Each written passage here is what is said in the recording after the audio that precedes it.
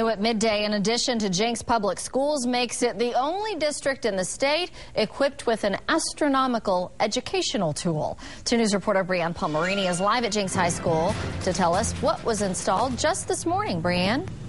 Well, the 26 foot dome that sits on top of the Math and Science Center here in Jenks will house a planetarium. It's the only one like it in Oklahoma. Now, with bond money, the district is working on some major improvements. Construction started on the Math and Science Center in May. This morning, crews used a 250 ton crane to add the dome portion that was constructed separately. Now, standing more than 70 feet tall, this is now one of the tallest points in the city of Jenks. The Math and Science Center will have eight math classrooms, 14 science class- classrooms, commons areas, and planning areas. It will be strictly dedicated to math and science education, and it will help free up space in the rest of the high school to meet the growing needs of the district. Total, this project will cost about $21 million.